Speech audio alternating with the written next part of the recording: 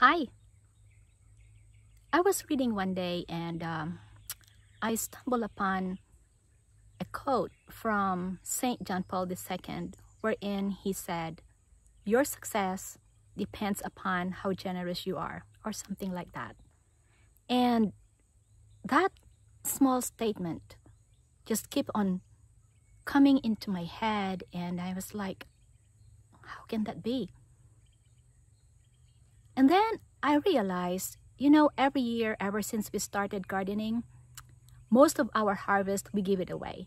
It's only my husband and I, so we have plenty. Uh, as you can see in my background, I have several calamansi trees and it produces hundreds, if not thousands, every year.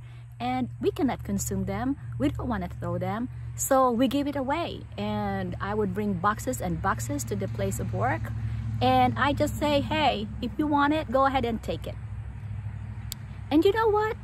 Every year, my calamansi tree trees, I have like I think eight now, they produce a lot.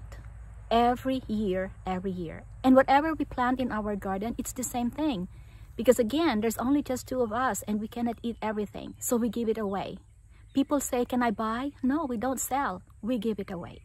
So I guess being generous is one thing that we should practice every day.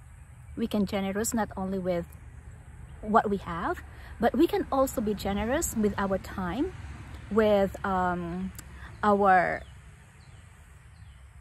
talents that was given to us. And as they say, the more you give, the more you receive. So I challenge each and every one of you today, practice generosity. Give Give, give until it hurts. And the blessing that would come to you would be immeasurable. I hope you like my little message for today. Thank you and see you the next issue of Tara na!